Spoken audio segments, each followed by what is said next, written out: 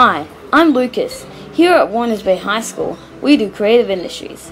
What is creative industries, you may ask? Well, let's. The first part of creative industries is stage management. Here, I'll let Isabel tell you all about it. Stage management is all of the behind the scenes to any production.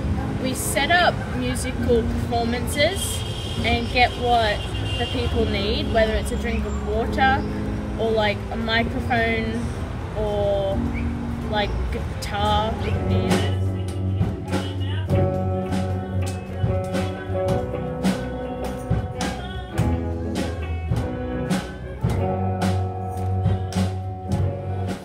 The other part of creative industries. using computer programs to make This is an interface. It is used to transport live audio from the, the outside world into the computer.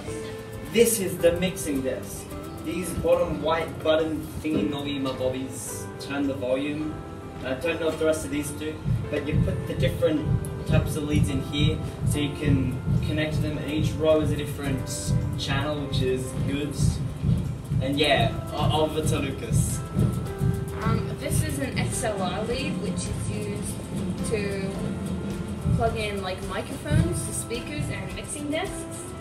This is a quarter inch jack, which is used for pianos and, well, not pianos, but like keyboards and guitars, and plugs into the mixing desk. Here, plug it in, and then it goes to a speaker, or the cord goes to the speaker, and you can change the volume for your instrument.